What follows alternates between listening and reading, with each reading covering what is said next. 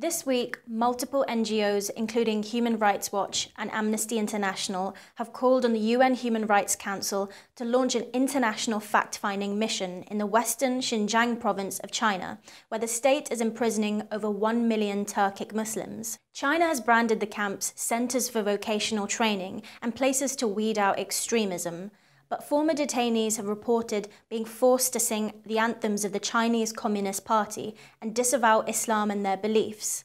Those who've complained about the indoctrination are tortured through waterboarding, starvation, and electric shocks. Those who avoid alcohol, don't smoke, wear hijab, and greet each other by saying Assalamu alaikum, meaning peace be upon you, are categorized as extremist. At present, China is targeting Uyghur Muslims who travel and have contact outside of China, citing a crackdown on terrorism.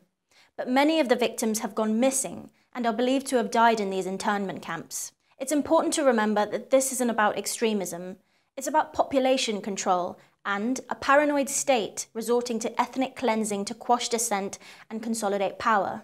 Uyghurs have long held economic grievances with the state for distributing jobs in the region to majority ethnically Han Chinese and see Xinjiang as an occupied resource-rich area, much like Tibet. So why isn't the international community doing anything? Well, whilst Ofcom, the UK's broadcasting watchdog, allows China to open its state broadcasting offices in London, China is buying the silence of multiple nation states through the Belt and Road Initiative, the world's largest infrastructure project that'll span across three continents and leave dozens of countries in debt to China for the investment. Take Pakistan, China's closest ally in the Muslim world.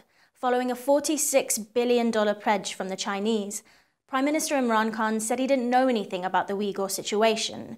As usual, the prospect of foreign capital trumps human rights.